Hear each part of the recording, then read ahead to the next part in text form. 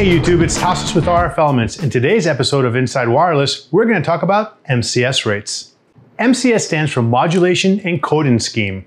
MCS rates are one of the parameters of RF radios for WISP networks, and it tells you how much throughput we can achieve. Let's have a look at how MCS rates work.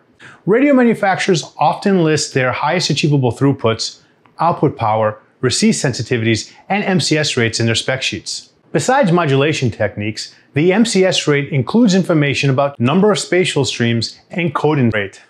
The modulation technique determines the type of modulation used to encode the data. With QAM modulation, the number tells us the amount of states the carrier signal can have. The higher the modulation number, the more information we're able to pack into the same bandwidth at the expense of higher required SNRs. If you want to know more about QAM modulation, check out our previous video by clicking on the link in the corner or in the video description. The fractional number next to the modulation type tells us the part of the data throughput that's useful data. For 3 fourths, 3 out of the 4 bits are useful data and the fourth is error protection related data. Channel size is given in megahertz and tells us the width of the spectrum the signal takes. The larger the channel size, the higher the throughput. The number of spatial streams tells us how many physical separated channels we use for data transfer.